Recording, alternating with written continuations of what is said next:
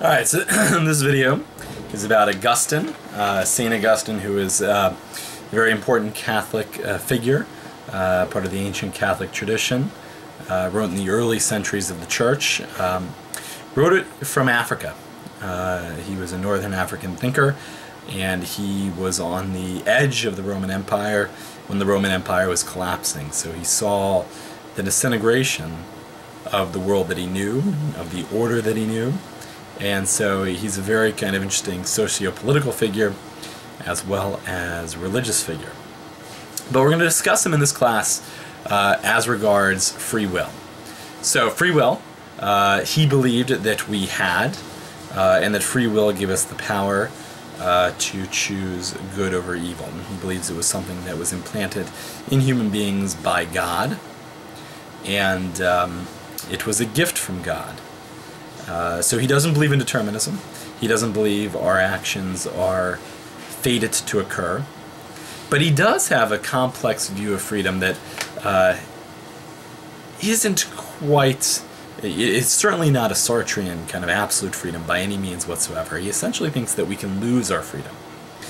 Now, first, you know, I'll talk about uh, the evidence or the argument that he gives for our freedom. Uh, then I'll talk about the consequences of sin, uh, which eventually leads to a loss of freedom, and um, what that loss of freedom means, as well as for Augustine, the only way to regain that freedom uh, is not through an act of will, but ultimately the grace of God. So again, it's, it's a complex uh, image, a complex uh, portrait that he offers. So Augustine, uh, we have free will. Uh, he believes we can choose good over evil, or human beings have been granted that gift, at least in our original state. Why? Uh, what evidence does he, he offer for this? Well, he gives this kind of interesting, some might say antiquated argument about human beings having control over animals. Um, and he wonders how is that possible given that animals, or at least many animals, are physically stronger than human beings. If you were to get in a fight with a bear, you would lose uh, you know, or a tiger, a lion, or something like that, or an elephant. I mean, there are a horse. There are many, many animals that are physically superior to human beings in many ways: speed, strength, eyesight, sensation. Um, you know, the ability to, to, to move in different ways, the ability to fly, for example. So you have these animals that are physically superior, yet human beings are undoubtedly in control. Human beings uh, have in a certain sense, rule the world, transform the world. Uh, human beings can use animals to accomplish their will. And while certainly it is always the case that an animal could attack and could destroy an individual human, we as human beings, as a, as a species, uh, are dominant over animals. And how could that be if they, again, are superior physically? And uh, for Augustine, well, Human beings have the capacity to reason. Human beings have the capacity to rule over the physical and rule over the instinctual and rule over that which is driven by desire. Uh, or again, for animals, by instinct. And the significance of this is that human beings possess something superior to the physical. If we were just brute matter, if we were just kind of driven by instincts or desire, well, then we would be part of the animal kingdom, and given our relative physical weakness, we would be dominated uh, in that kingdom, or we'd have to find some other way to survive. But human beings uh, have the ability to think, have the ability to reason, have the ability to order our desires towards a rational end. And that allows us to control this physical world that, in a pure physical terms, is superior to us, is stronger than us, should defeat us. But this superior element within us, uh, which Augustine is going to um, equate or uh, align with the divine, with God, is that reason and our ability to freely choose to act and to follow reason. That's where our free choice really lies. To follow reason, to choose reason, and by choosing reason, we order our desires. It's a kind of Platonic argument uh, in many ways. Um, now, uh, for Augustine, it is not simply that we have the superior elements. Uh, for Augustine, this is ordered by God. And by God wants the superior, the intellectual, the spiritual to rule over the physical. That's the proper order of the universe. And so it is proper that human beings not only can, but do rule over the physical and the animal world. Now, ruling over doesn't mean doing whatever we want with it. It means ultimately, for Augustine, being caretakers, being shepherds uh, of creation. Um, now, why do we have this? What is the point? Well, for human beings, ultimately, we're designed to worship and to love God. And that is what we are meant to be creatures that worship and understand, at least in some small level, uh, the superior element of the universe, the spiritual element of the universe, which is God. And it is proper, it is just that the superior rules over, controls that which is inferior. It's just a basic principle of justice. The higher should control the lower. And so, while we should be controlled in a certain sense, follow God, God also allows us to control the physical. Um, but when we don't, when we don't elevate the spiritual and intellectual over the physical, and when we follow the physical, when essentially we become, uh, follow our desires, follow our lusts for uh, physical things, that for Augustine is sin. Lust is sin. Lust is love of that which can be lost against one's will. And essentially that means love of the physical. Now, you know, you might say, well, there's plenty of things in the physical universe that I love, and, um, you know, I love other physical beings. But what uh, Augustine is going to say is that what he means by love is that you make it sort of your God. You make it the most important thing in your life. So when we make physical things, temporal things, I should even broaden the term, the most important thing in the world, then we're involved in a form of idolatry. When we make power or money or uh, uh, sexual desire or um, positions, rewards, recognitions, material uh, accumulation of wealth in terms of houses, in terms of properties, in terms of you know cars, anything like that. When that becomes our driving force, when that becomes what we love, and by love again it means making that most important in our life, that's when we are in sin because we have disordered the universe. And for Augustine, the source uh, or the result, the consequence of sin, is that we are miserable. We are unhappy beings. And we're unhappy because we are following an order that is not proper to us. And for Augustine, he makes this fascinating argument where he essentially says, look, sin is its own punishment. You don't have to wait to go to the afterlife. You don't have to wait for hell to get punished for, for being a sinner. You get it right now in this world. And you get it because those that sin, those that love which can that which can be lost against one's will, uh, are faced with all the consequences of sin, and that is jealousy, anxiety, um, insatiable desire. Nothing is ever enough. You always want more. I mean, think about it. If you love recognition, you know, you may be recognized for some accomplishment, but that fades very, very quickly, and then you want something else. You want something more, and you need it. And if you're not getting that, you're going to be anxious. Well, when am I going to be recognized again? Am I a failure? Am I not worthy? Um, and then you also become jealous because you're, you're thinking to yourself, well, why does this person receive all the attention? Why does this person get all the praise? Why does this person have a bigger house than me? And you know, let's say you're successful, you get a nice job, you get a big house, and then you want something more. You want a bigger house, and you worry, well, is my house is up to date? Is my house have all the perks, all the, the bells and whistles uh, of someone else? You know, and if I don't have that, am I falling behind?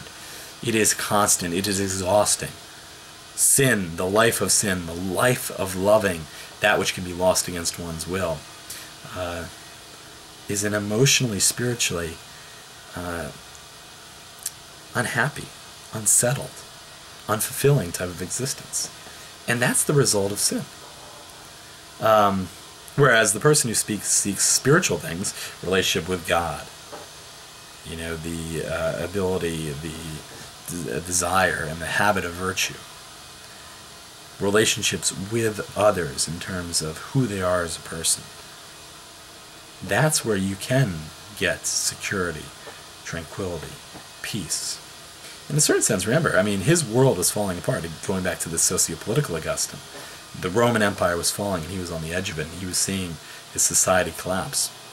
So you, one could could see why this notion of sin and this notion of happiness and unhappiness would be particularly pertinent for somebody like Augustine.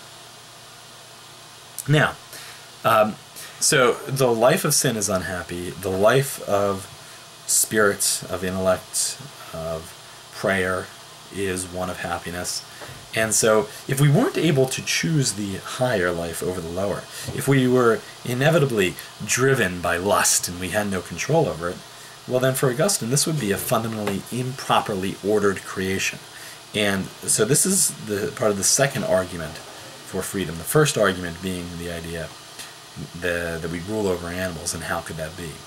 The second being that if we were destined to a life of sin and therefore misery, um, then God would have made creation poorly. God would not have been a, a creator who would seem to love and want the best for his creatures. But since this is incompatible with Augustine's notion of God and the goodness of God, um, it must be the case that we have the choice and have the ability to follow that which is higher, and ultimately we have the ability and the choice to live a life that is happy. So you got this. You got this uh, this sense of freedom, this theological sense of freedom, this kind of a, um, observational sense of freedom. Um, but it does seem like certain people are driven by sin. It does seem to be like people, um, you know, what is most important in their life is that which can be lost against their will, and love of power, or love of money, or love of uh, women, or love of men, or love of recognition, or love of material possession. It seems like for some people they can't live without it. It doesn't seem like they have a free choice. And essentially, what Augustine is going to offer here is an account of a loss of freedom that is very much similar to addiction. The addict also cannot choose that which is better for him or her. You know, someone addicted to drugs, someone addicted to substances, you see that very clearly. They don't have the ability, they don't have the power, even though they know in their hearts that, you know, this is not a life they want to live. They can't help themselves. And Augustine would agree. These people, in a very real sense, have lost their freedom. But it's not because they were not granted freedom by God. It's because they chose the lower over the higher. And they chose it again and again and again. Over a period of time, those choices become habit. And over a longer period of time, that habit becomes a kind of a chain, inevitability. We become prisoners of our habits. Those habits, in a certain sense, abolish our free will because they become something that we automatically, that we feel like we need to do. And it's in this state where one has lost one's freedom through one's own free choices that human beings find themselves in very, very often. There's very few of us that have given up lusting, that have given up uh, love of the lower over the higher. And so many of us, most of us, are in fact slaves to our desires, slaves to our lust. Um, and we can't help but doing otherwise. We can't help but seeking recognition or attention or power or money uh, or control. But again, it's not because we didn't have the freedom to choose otherwise. It's because we've made bad choices over an extended period of time, and, and eventually those desires become stronger, and more powerful.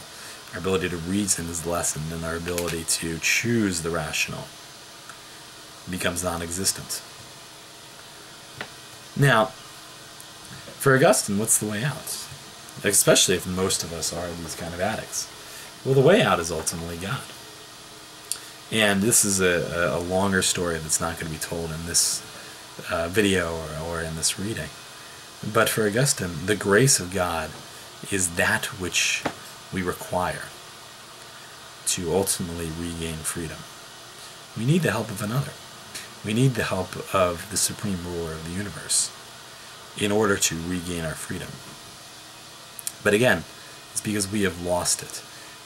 Now the picture becomes even more complicated if you were to talk about original sin, and you know many scholars have debated whether Augustine's early theory, theory of freedom uh, on the free choice of the will, which this reading is essentially based on, is compatible with later uh, understandings of freedom and original sin, where it seems like I, as an individual, didn't lose my freedom, but we are born into a race that is marked by original sin, and so therefore we can't help it.